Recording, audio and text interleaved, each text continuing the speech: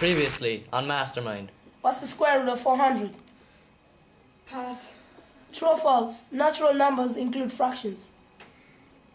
Pass. What is the sum of three angles of a triangle? Pass. Well, that didn't go too well. Let's meet our next victim, uh, I mean contestant. Name, William Aladdin, occupation, DCS student, specialist topic. Algebra. Best of luck. Your time starts now.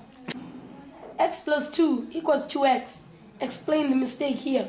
You can't add a letter to a number, so the answer remains x plus 2. Correct. Question 2. x multiplied by x equals 2x.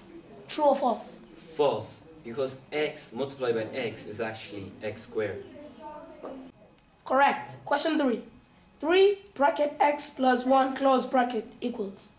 Equals 3x plus 3, because you because you're meant to multiply the 3 to the x and to the 1. Correct. Question 4. x plus y equals xy. True or false? False, because you can't add different letters together, so the expression stays x plus y. Correct. Question 5. I've started, so I'll finish. 3x plus 1 over 3. Can you cancel here?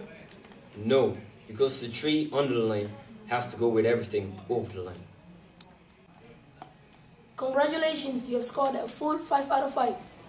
You are our algebra mastermind. This has been Mastermind, and I'm your host, Emmanuel Mawenda. Good night.